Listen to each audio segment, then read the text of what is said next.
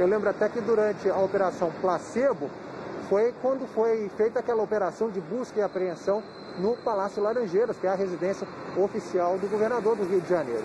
E aí agora surge essa informação de que o Edmar Santos fez uma delação premiada e o, o presidente do STJ, João Otávio de Noronha, que é o responsável pelo plantão judiciário agora, no, no recesso judiciário, decretou o seguinte: sigilo sobre essas investigações todas, pediu para que tudo seja remetido para ele, para ele tomar uma decisão. Se vai soltar o, o secretário, ex-secretário Edmar Santos, e também se vai é, aceitar que tudo, toda essa investigação passe para a esfera federal, Joel. Se tudo isso se confirmar, impeachment à vista! Impeachment à vista para o governador aí do Rio de Janeiro. Impeachment rolando na, na é. Assembleia Legislativa, né?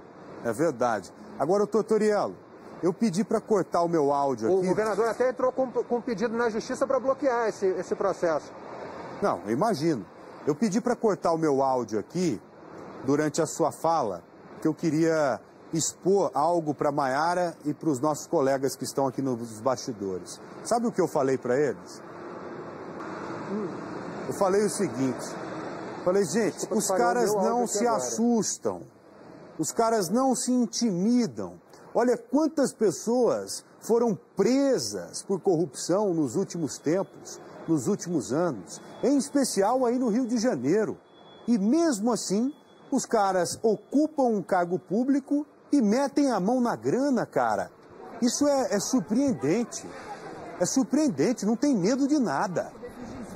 É, e ainda guarda quase 10 milhões de reais dentro de casa. Ou seja, não acreditam que serão pegos mesmo. São pessoas que agem de forma doentia, porque isso aí só pode ser isso. Ou o cara acha que vai desviar 10 milhões de reais em espécie e não será descoberto.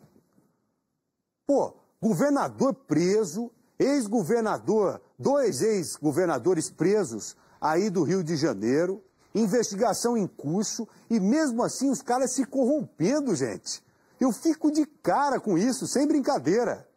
Porque a gente passa a pensar o seguinte: puxa vida, eu acho que dificilmente teremos políticos e pessoas do mundo político é, desviando dinheiro daqui para frente. Acho que está todo mundo com medo, deveria estar tá com medo, mas não.